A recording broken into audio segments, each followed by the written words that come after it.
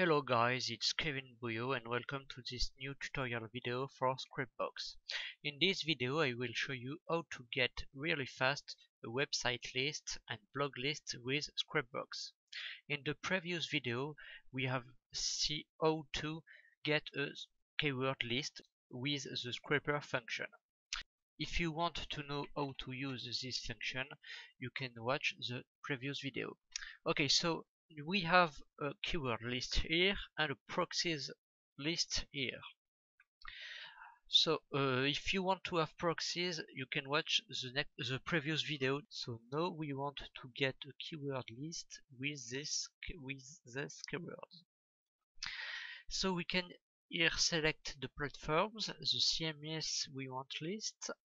I will select WordPress the next video I will show you how to uh, use the custom footprint function. Okay, so you have your proxies, you checked use proxies, and you click on start harvesting. So okay, we wait that the process finished. So you can see my results. So I back when it's finished so okay it's finished. And if and I don't have any result for Google because I have problem with my proxies but uh, you uh, you should have result for Google search engine. Donc, uh, in this tutorial I will only have Yahoo search engine results.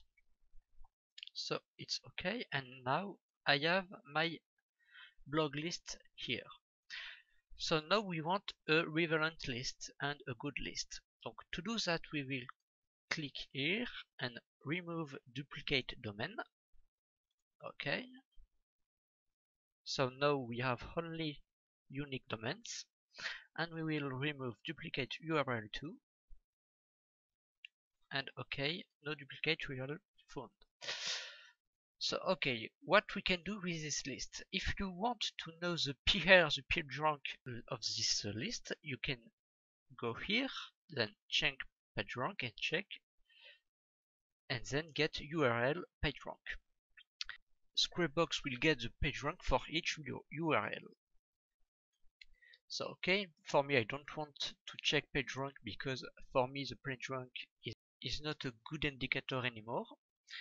So I can export this list to CSV file okay I will put the name. Okay and now I have my list in my Excel program.